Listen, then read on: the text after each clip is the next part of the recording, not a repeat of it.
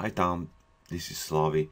So I'll give you a quick demo of the plugin that I'm currently working on. So right now you can see here there's tutorials. There's a section.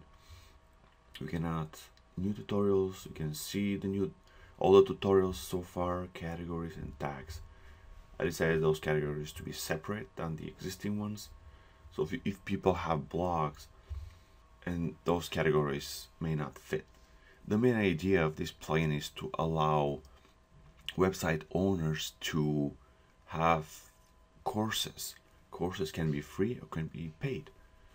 So let's add a new tutorial.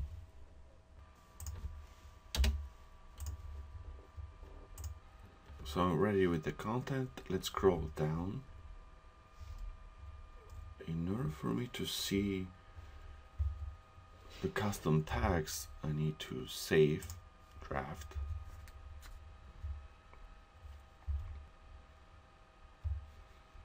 And here we can see the price, can set zero, release date, could be November 28, 2012. If it's a video, then we can put five minutes.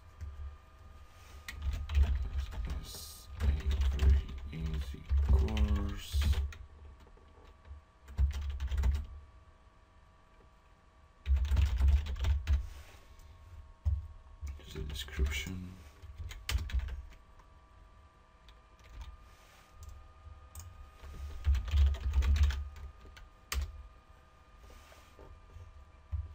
Here we can attach files.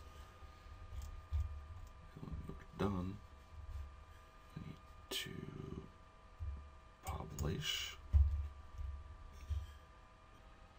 Let's view the post. So here's how the content of a video or, or a tutorial looks like. This content, this content will be shown only to users who have subscribed to the site. So this information will not be shown unless the user has subscribed to the course. Here's the information that's going to be shown. Here's the downloads author related resources you can ask questions here. There's a different tutorial.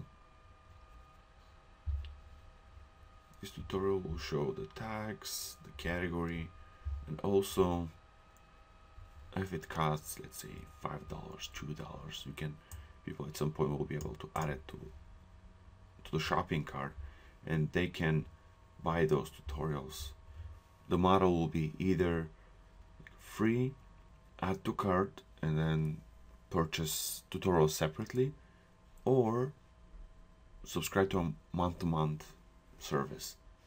My idea is to have super short tutorials to the point and sell them for a dollar or two, similarly to the mobile apps. I think that's everything for now.